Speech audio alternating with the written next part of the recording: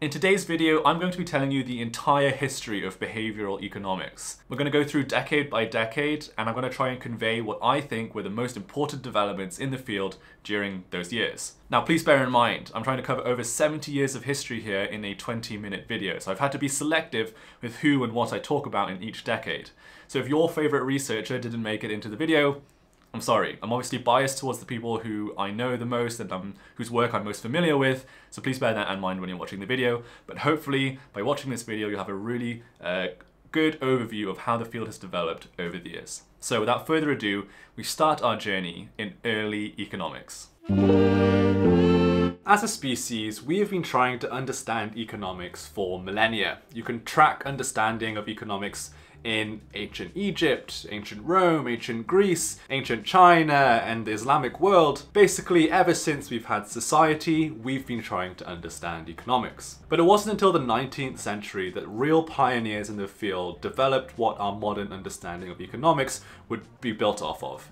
Those people were people like David Ricardo, John Stuart Mill, and most notably, Adam Smith. Adam Smith is often regarded as the father of modern economic thought. He wrote The Wealth of Nations, and in many ways, Adam Smith was the first behavioral economist. If you read his book, A Theory of Moral Sentiments, he describes a way of decision making that is remarkably similar to the dual process theories that people use in behavioral economics today. He describes how people often make decisions with their passions, and that often we have to have a second decision making system that helps to reel in the passions and override us and take an outside view in order for us to come to a rational conclusion, which is remarkably similar to things like System 1 and System 2 that are famous in the world of behavioral economics today. So, in many ways, Adam Smith was the first behavioral economist. But between the time of Adam Smith and, well, the 1950s, economics seems to have gotten lost. We lost these ideas of passions or emotional decision making, and instead economic models became increasingly reductionist and assumed perfect rationality from the people involved in the models. And that brings us on to the first modern behavioral economist in the 1950s. In the 1950s, a guy called Herbert Simon introduced the concept of bounded rationality, and this was an absolutely groundbreaking idea in the world of economics. What Herbert Simon argued was that people's ability to make rational choices wasn't infinite. We simply don't have the cognitive power, the brain power, to consider all the pros and cons of every decision that we make. And so we often will make a lot of decisions that aren't rational because well, our rationality is bounded by these biological constraints. He also pointed out that often we make decisions with less attention than we might need to make a rational decision. Our attention is limited, or often many of our decisions are made with imperfect information, and that also leads to irrational decision making. Now, those ideas are still concepts that we talk about in behavioral economics today, and it was Herbert Simon in the 1950s to really bring those to the fore of economic conversation. Now, in this video, I'm going to be talking a lot about Daniel Kahneman and Richard Thaler, who are often credited with founding the field of behavioral economics, and maybe rightly so, but I want to give a special shout out to Herbert Simon, who really was the first modern behavioral economist. So in the 1960s, Kahneman was professor of psychology at Hebrew University in Jerusalem. And one day, as is common practice, he invites one of his students to give the lecture. That student was Amos Tversky. And what Tversky argued in his lecture was that people are rational, but they make irrational decisions when they have imperfect information, when they don't have the right knowledge to come to the right conclusion. And when Kahneman heard this, he vehemently disagreed. In fact, he argued with Tversky in the middle of the class because Kahneman said that he had observed people with good information still making the wrong decision. Now, the reason why Kahneman believed this so strongly is because this is something that he had observed himself in the Israeli military. He noticed that recruiters were often falling victim to something called the halo effect, which is when we overweight the first impression that we get of somebody and ignore red flags that we see later. Kahneman noticed that recruiters were seeing these recruits getting a good first impression, but then when they continued to perform poorly in the test, in the recruiting process, they would still let them pass at the end because of this halo effect. And so that was a very clear example to Kahneman how somebody can have all the correct information and yet still come to the wrong conclusion. But this wasn't enough to satisfy the debate between Kahneman and Tversky, so the two of them decided to collaborate and run an experiment to get to the bottom of this argument. The experiment involved asking statistical questions to students who had weak statistical backgrounds and trained statisticians. What they found in their study was that when the students with weak statistical skills were asked about the questions, well, they got them wrong, as you would predict. But what's interesting is that when it came to the trained statisticians, they also came to the wrong conclusion, which kind of proves Kahneman right, that people who have the right knowledge, the right background, can still come to the wrong conclusion. But what was interesting about this study was that it actually posed a bigger problem. Kahneman and Tversky realized that there may be a systematic problem with how people interpret statistics. And that's because the experiment that they did showed statisticians results with a very small sample size, and many statisticians failed to account for the small sample size, meaning that the study, the result, had less power. And so this was one of the early conclusions that Kahneman and Tversky came to with each other, realizing that people don't appreciate the importance of sample size.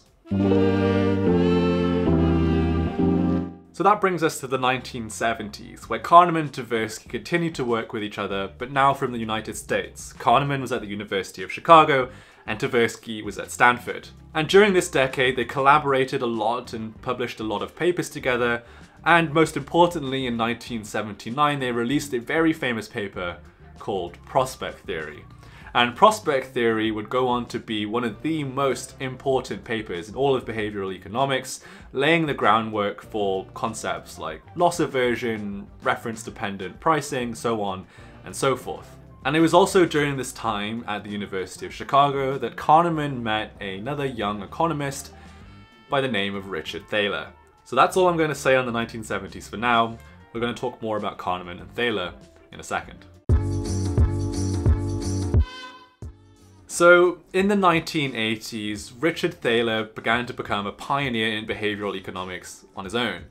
He focused a lot on the financial side of behavioral economics and solidified the concept of mental accounting, which is a super important concept that I still use today in my work as a behavioral scientist. And the idea of mental accounting is that people allocate money to different pots in their head which can lead to very irrational behavior. For example, people will often have a savings pot and a spending pot. Let's say the savings pot is for a new car. Now what might happen is that their spending pot depletes to zero and then they have to make a choice.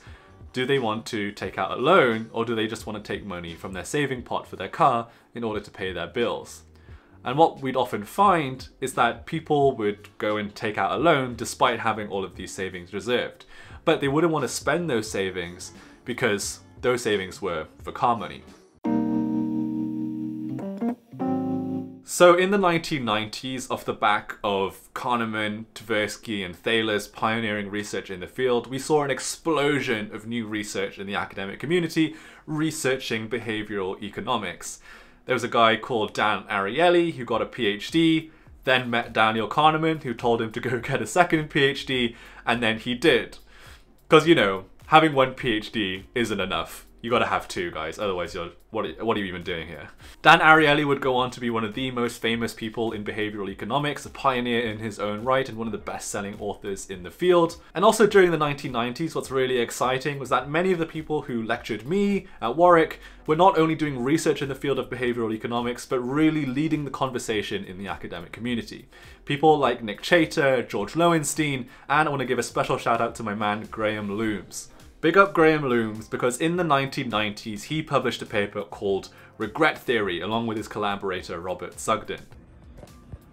Okay, editing Pete here. I realized in editing this video that I actually made a mistake. Graham Loomes published Regret Theory in the 1980s, but this next bit that I'm going to say, where I say that this sparked a lot of conversation in the field, a lot of that academic conversation was happening in the 90s. So, little caveat there, published in the 80s, conversation was really brewing hard in the 90s. Back to the video. And regret theory was really a landmark paper in the field of behavioral economics. It described how people will often make irrational decisions in order to try and avoid regret, which laid the foundation for concepts that I use in my job on a day-to-day -day basis, things like regret aversion. And this really marked the start of a new cluster of research in behavioral economics, which looked into how our emotions can affect our decision making and lead to contradictions according to economic models. Another cluster of research that we saw developing in the 1990s was how behavioral economics related to the law. Isn't that against the law? I am the law! People were looking at concepts like the endowment effect that says that people value things they own more than things that they don't own, and we're wondering how that might affect things like property rights and whether property rights would be allocated fairly and optimally when this endowment effect was in place. And what they found, surprise, surprise, was that endowment effect meant that often these markets weren't distributed optimally because people were really unwilling to give up what they owned even if they had better payoffs that were possible. Now you're probably wondering what Kahneman is researching at this time, and Kahneman at this time seemed to be very preoccupied with the idea of fairness in markets. And what Kahneman realized was that a lot of people were very concerned with fairness. And you know, fairness really isn't something that traditional classical economic models would take account of, that people would care about fair distribution and sort of pro-social behavior. But Kahneman did a lot of research to prove that this wasn't the case, and once again, markets wouldn't come to the optimal economic equilibrium because people were concerned with issues of fairness. And that brings us to the 2000s. And I hope you can see how each decade we go to, behavioral economics is growing and expanding. And 2000 definitely saw a massive explosion of interest in behavioral economics. The decade kicked off with Daniel Kahneman winning the Nobel Prize in Economics in 2002 primarily for his work in prospect theory that I mentioned earlier. Prospect theory was totally groundbreaking in the world of economics, and that's why he won the Nobel Prize. Now, the really cool thing about Daniel Kahneman winning the Nobel Prize, and one of the reasons why I admire him so much, is because it's just so cool to see a psychologist win a Nobel Prize. There is no Nobel Prize for psychology, so we kind of have to steal the economics Nobel Prize, and Kahneman was the first and only person to do that so far.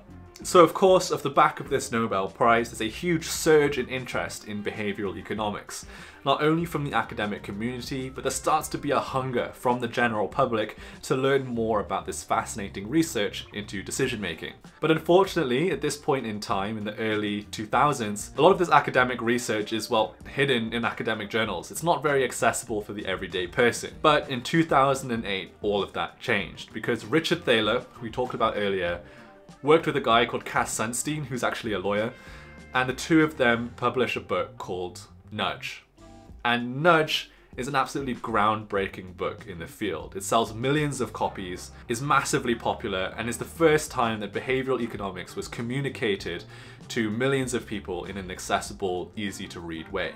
In the book Nudge, Thaler was telling people about all of those early concepts that he and Kahneman and Tversky discovered in those early years of behavioral economics. And the important thing about Nudge was that it connected the dots between this academic research in behavioral economics and how it can be used in public policy by governments and by businesses too.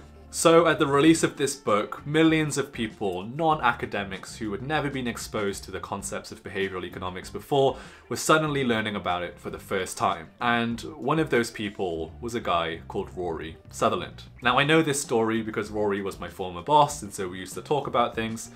And what Rory told me was that in 2008, he got sick.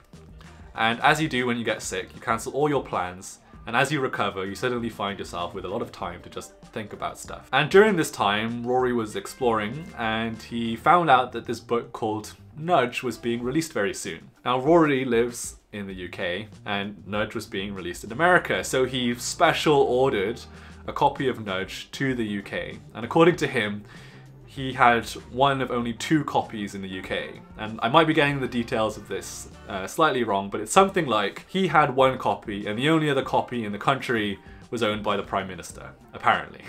And when Rory read this book, something went off in his head. He realized the value of this to businesses. Because you see, Rory wasn't an academic like Thaler and Kahneman. No, Rory was an advertising person, an ad man. And after his many decades of working in the industry, he had noticed many weird quirks of how to persuade people with his advertising that couldn't be rationally explained by economic models. And what he found in nudge and behavioral economics was a systematic, systemic way of proving the things that he had observed with academic rigor and the scientific method. What behavioral economics shows time after time after time is in human behavior and behavioral change, there's a very, very strong disproportionality at work. But Rory wasn't the only one to realize the value of this to his organization. In fact, the government of the UK set up the Behavioural Insights Team, or as it's better known, the Nudge Unit, and this was co-set up by Richard Thaler. And this was kind of the first government organization to sort of formally use behavioral economics in public policy. So it was a hugely influential in organization and just the existence of it gave behavioral economics a lot of legitimacy in the political sphere. During this decade, we also see behavioral economics start to incorporate into the policy of the US government. In 2006, they released something called the Pension Protection Act, which was based on behavioral economic research. And what this proved was that people basically are very bad at saving for their retirement, for their pension, and so the Pension Protection Act helped them do that. So the 2000s were massively important for behavioral economics. It's the decade where it went from being something that was popular only in academic circles to now being popular in political and business circles as well. But let's move on to the 2010s because it only gets crazier from here. When we get to the 2010s, behavioral economics had cemented itself as a truly respectable field of study. And in 2011, millions more people would be introduced to behavioral economics because Daniel Kahneman released his best-selling book, Thinking Fast and Slow. Now this book, when it came out in 2011, was absolutely revolutionary. It blew a lot of people's mind, the research that he talked about from his own work, from the work of people like Richard Thaler, and of course a lot of early psychology work that hadn't really received a lot of public attention before, was now receiving a lot of public attention thanks to the popularity of his book, Thinking Fast and Slow. That's the book where he introduced the concepts of System 1 and System 2, which are now pervasive and prevalent and used all throughout the behavioral economics industry. Now, as long-term viewers of this channel will know, you'll know that I don't really think that Thinking Fast and Slow still holds up over a decade later. The research that he talks about in the book just simply hasn't stood the test of time in terms of its reliability as a source of information. However, at the time of release, it certainly seemed at least fairly robust according to the current understanding, and got a lot more people interested in the field. And by the time we got to 2017, research and interest in the field was at an all-time high, and to top it all off, a second Nobel Prize was given to a behavioral economist because in 2017, Richard Thaler also won the Nobel Prize in economics. But just as importantly as winning the Nobel Prize, during this decade, people like Dan Ariely and Rory Sutherland were becoming well known in their own right, giving talks like on TED for example. And during this decade, both Dan Ariely and Rory gave three talks on TED, each with millions of views. So it was during the 2010s that behavioral economics seemed to really get properly popular. Between Thinking Fast and Slow, the continued success of Nudge, Thaler winning the Nobel Prize, and these talks getting millions of views each, a lot of people were getting interested in behavioral economics, and one of the people who watched one of those talks was me. I remember watching Dan Ariely's talk first and then going on to watch Rory's talks and I was completely inspired by these two individuals, became immediately obsessed with the field of behavioral economics. That summer I'd go on to read Thinking Fast and Slow, Nudge, Predictably Irrational, these classic books in the field of behavioral economics, and decided there and then that I was going to dedicate my entire career and basically my whole life towards furthering this field of behavioral economics and now behavioral science. So while doing these kinds of talks isn't, you know, as groundbreaking in terms of furthering the academic literature, they are in my opinion, just as important because not only do they inspire the next generation of behavioral economists, people like myself, people like you watching this video, but they also inspire people to apply behavioral economics into the real world. You further this academic research, take it out of the ivory tower behind these paywall journals and get it into the real world where this amazing research can actually benefit people's lives. So thank you to Ariely and Rory and all the other amazing communicators of behavioral science, Thaler and Kahneman included in that list as well, of course, because without them, this research would never actually help anybody.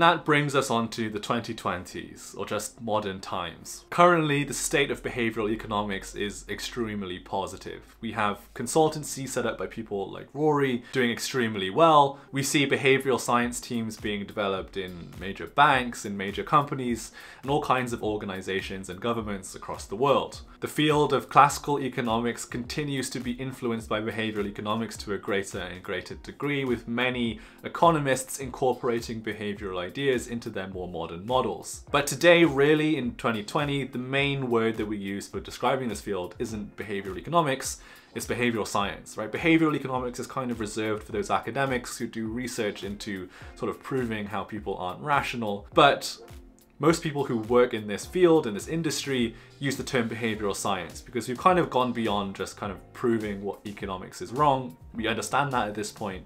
Now it's really looking at mainly psychology actually, to discover how people really make decisions. And we look at psychology, we look at economics, we also look at things like sociology, anthropology, evolutionary biology, to try and figure out the bottom of the question, you know, why do people do what they do? So these days, people like myself say, I work in behavioral science, not behavioral economics, because it's a more encompassing term. And of course, one big thing that happened in 2020 was me starting this YouTube channel. now, I'm not going to pretend that me starting this YouTube channel is on the same level as Kahneman publishing Prospect Theory or Thaler winning the Nobel Prize, but what I understood by starting this YouTube channel was that a lot of this research from behavioral economics isn't very accessible to the everyday person. Firstly, if you're not from a Western country where you can study this formally at university, it's pretty difficult to get access to this information. But two, just reading that much information is just very dense. It's not very accessible for a lot of people. And if we're going to inspire the next generation of behavioral economists, I wanted to bring this kind of research into a more modern format. And for me, my chosen format is YouTube. And before I sign off, I just want to acknowledge the fact that every name that I've mentioned in this video has been a Jewish or Western male. So let me finish on a note that tells you some of the more amazing women who work in this field and tell you about some of the amazing research that's happening in countries that aren't just the UK or the US. So on the international side of things, there are amazing behavioral science consultancies that I've met people from who are doing incredible applied work applying behavioral science to non-Western countries. Companies like the Busara Center based in Kenya and Magenta do amazing work all across Africa, the Middle East, and many other non-Western countries. And if you are a young woman watching this video and you're discouraged by the fact that everybody that I've mentioned so far has been a man, please don't be. Today in the 2020s, some of my favorite researchers are women. Incredible people who are not just researchers in the field, but are actually pioneering researchers, leading a lot of the most groundbreaking work and discovering the concepts that I use in my job in this field of behavioral science every single day. Just to name a few, you have Angela Duckworth, the author of Grit, Katie Milkman, the author of How to Change, Professor Wendy Wood, one of my personal mentors and someone who's widely regarded as the world's leading expert on the science of habits, hugely influential person and I think everybody should go and read her book, Good Habits, Bad Habits. I could list so many more too, Laurie Santos, Lisa Feldman Barrett, Ganna Pogrebna, so on and so forth. There are so many amazing people working in the field of behavioral science, behavioral economics, who are women, and so please don't feel discouraged if you are a young girl watching this video. Okay, so on that note, thank you guys so much for watching, and I will see you in the next one. Bye-bye.